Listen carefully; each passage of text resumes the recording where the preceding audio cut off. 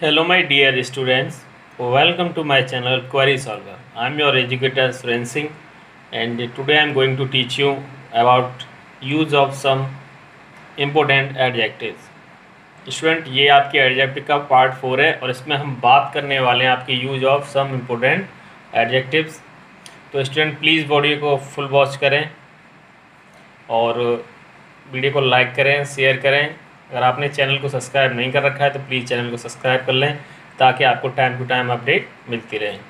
तो student start करते हैं हम आज की क्लास को। Use of some and any तो स्टूडेंट आपका बताया गया कि सम का जो यूज़ करते हैं हम अफर्मेटिव सेंटेंस में काउंटेबल एंड अनकाउंटेबल नाउन दोनों के साथ यूज़ करते हैं।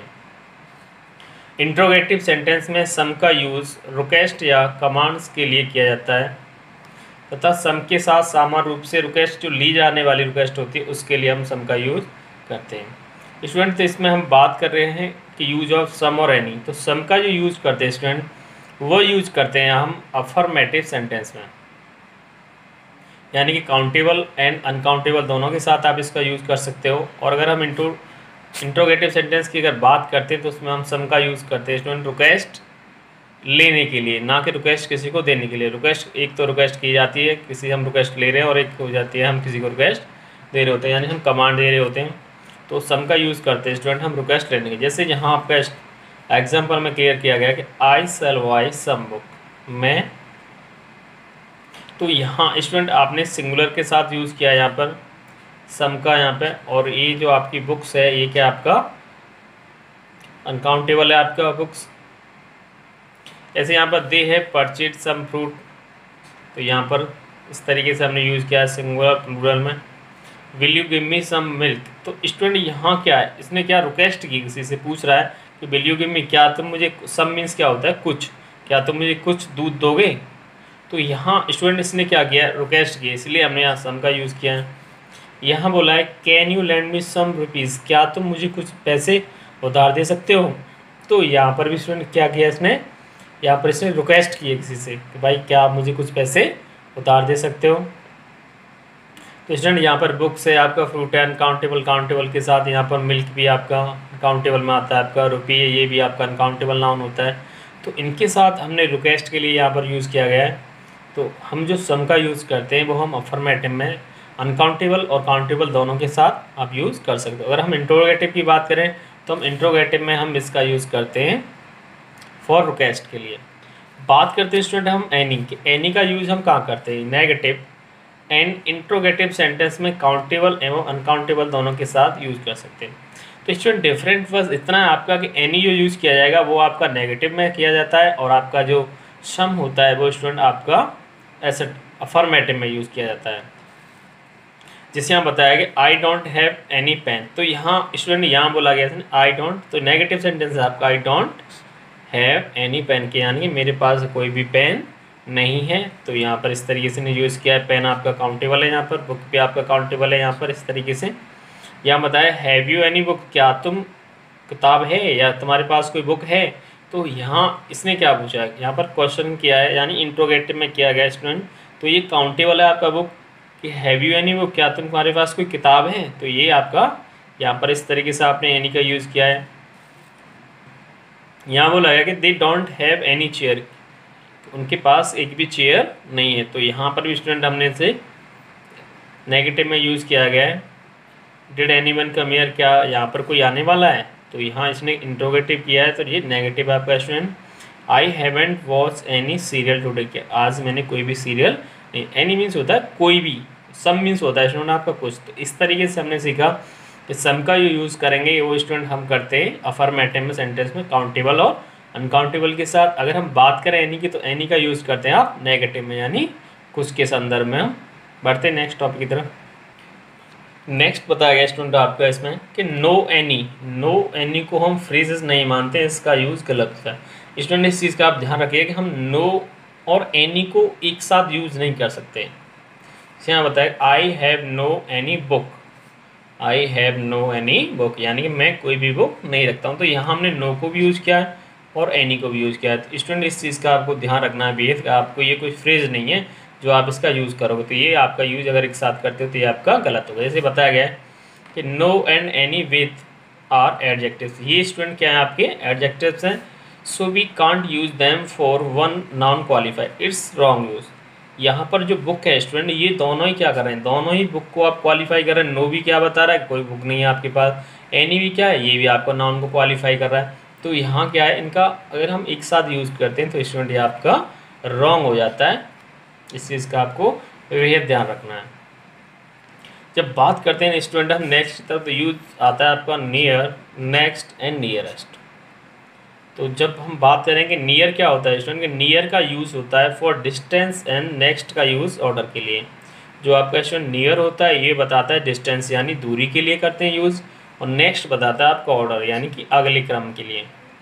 तो यहाँ बोला है कि नियर के सुपरलेटिव होता है, वो होता है स्टूडेंट आपका नियरेस्ट होता है, और नाई का सुपरलेटिव आपका नेक्स्ट होता है। इनका यूज़ हम समीपस्थ के लिए, यानी कि नज़दीक के लिए यूज़ करते हैं आपका।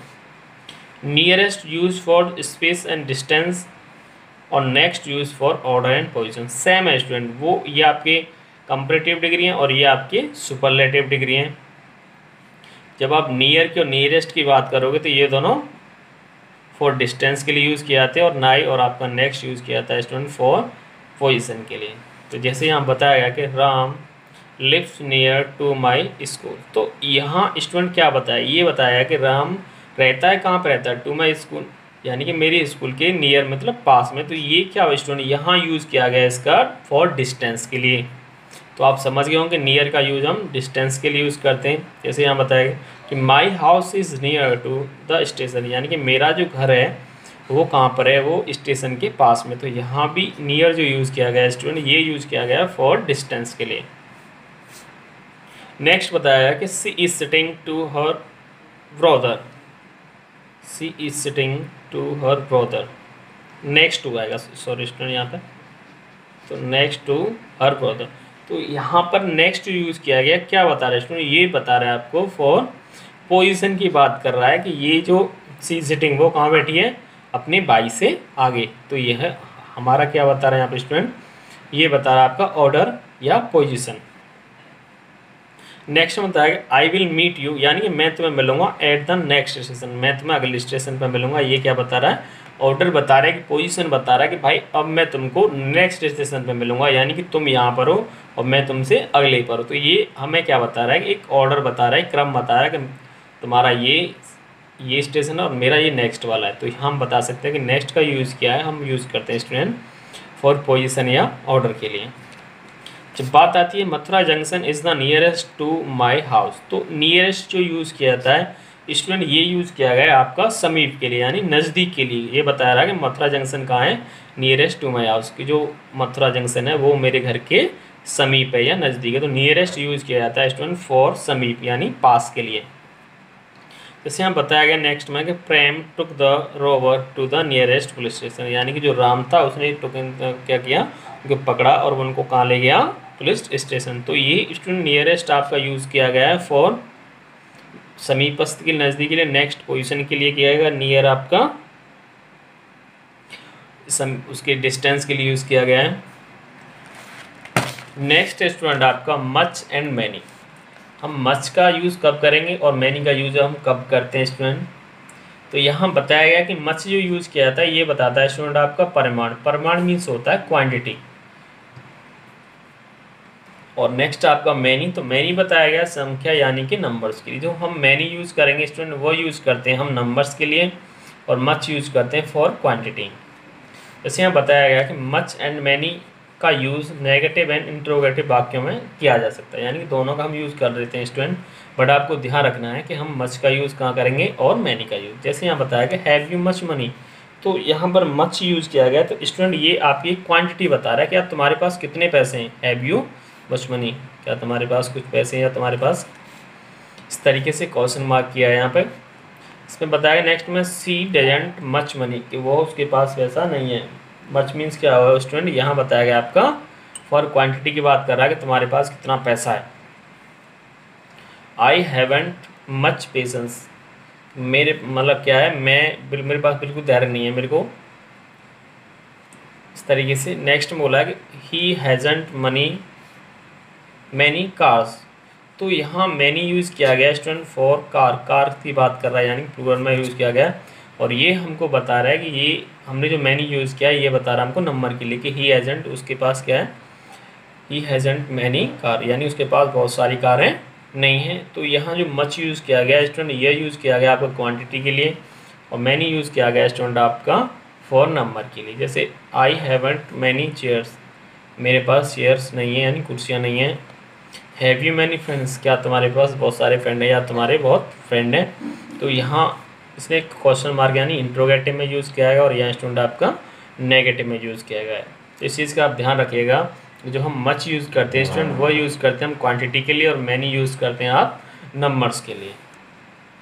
लेकिन इसमें बताया कि अफर्मेटिव वाक्यों में हम मच और मैनी का यूज़ सब्जेक्ट के साथ हो सकता है, लेकिन ऑब्जेक्ट के साथ नहीं होता है स्टूडेंट इसका मतलब ये होगा कि जो हम मच और मैनी यूज़ करते हैं, स्टूडेंट, हम उसको नॉमिनेटिव केस के साथ तो कर सकते हैं, लेकिन ऑब्जेक्ट केस के साथ इसका यूज़ नहीं कर सकते। जैसे यहाँ बताया कि many people come to see the temple much, यहाँ पर सॉरी, यहाँ ये फुल स्टॉप इसका, many people come to see the temple तो यहाँ मैनी जो यूज़ किया गया स्टूडेंट, यहाँ बताया गया कि मैनी जो पीपल हैं, वो आप क्या करते हैं, इसको आप सब्जेक्ट केस में तो आप यूज़ कर सकते हो, लेकिन आप इसको ऑब्जेक्ट केस में यूज़ नहीं कर सकते हो। जैसे बताया कि मच मिल्क वॉज़ रिक्वायर्ड तो यहाँ जो मच मिल्क यूज़ किया गया स्टूडेंट ये आपका नॉमिनेटिव केस में एज सब्जेक्ट यूज़ किया हमने, इसलिए हमने यहाँ मच का यूज़ कर लिया है। लेकिन हम इनका क्या है ऑब्जेक्ट केस में हम यहाँ यूज़ नहीं कर सकते इनका। जैसे यहाँ बताया गया अफर्मेटिव सेंटेंस में ऑब्जेक्ट की तरह अगर हमें यूज़ करना हो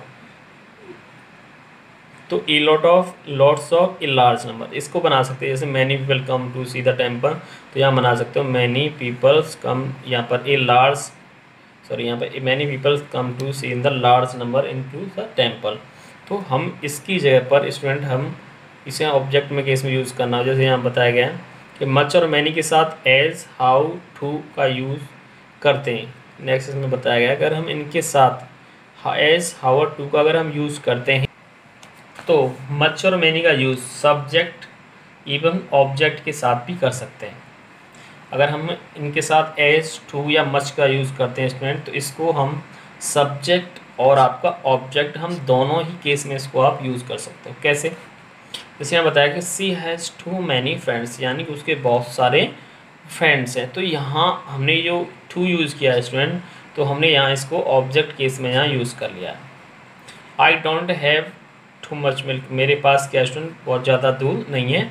तो यहाँ पर हमने इसको ऑब्जेक्ट केस में यूज़ किया गया है यहाँ पर ऐसे you can take as much water as you need you can take as much water as you need यानी कि तुम जितना चाहो उतना अपनी ज़रूरत के हिसाब से पानी आप ले सकते हो। तो यहाँ हमने वाटर यूज़ किया है। तो ये आपकी क्वांटिटी के लिए हमने यहाँ पर मच यूज़ किया है students I don't know how much sugar is needed मैं, मुझे नहीं पता कितने शुगर की, यानी चीनी की ज़रूरत है।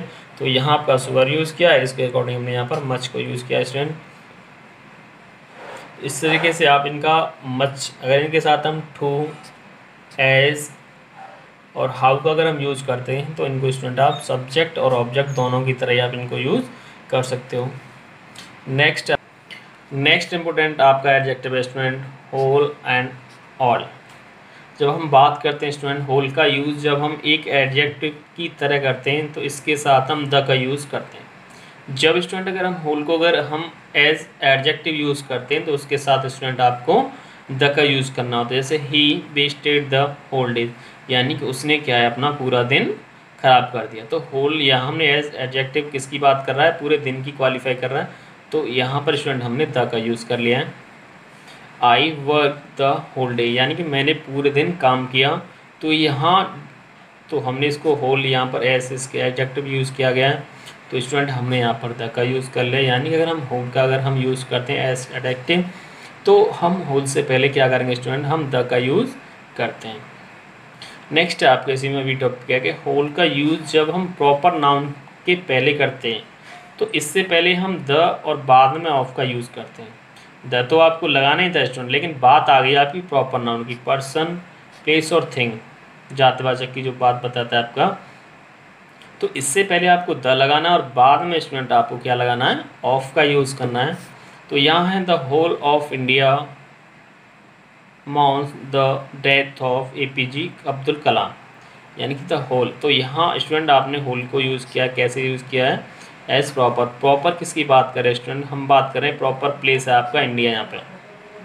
तो इससे पहले आपने ऑफ़ का यूज़ किया और होल से पहले हमने यहाँ पर द का यूज़ किया, इसलिए आपका राइट हो जाएगा। ऐसे यहाँ बताया था होल ऑफ़ राजस्थान। तो राजस्थान क्या है स्टूडेंट आपका? प्रॉपर नाउन है, यानी कि आपका प्लेस है ये प्रॉपर तो इसके अकॉर्डिंग हमने यहाँ होल यूज़ किया गया है, इसके एड एडिक्टिव यहाँ पर।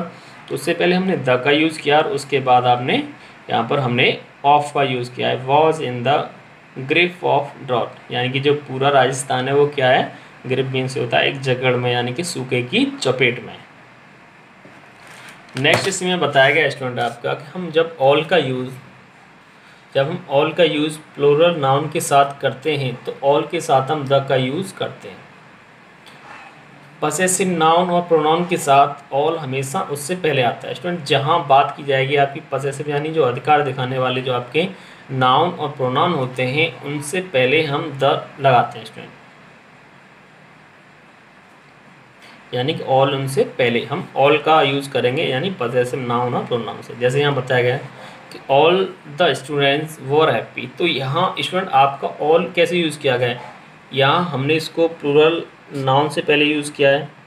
यानी कि ऑल का यूज़ करते हो आप प्लोरल नाउन से। और जो प्लोरल नाउन होती है स्टूडेंट वहाँ उससे पहले हम आर्टिकल द का यूज़ करते हैं। और उसी के अकॉर्डिंग आपने यहाँ पर वर्ब वर यूज़ किएगा आपका है।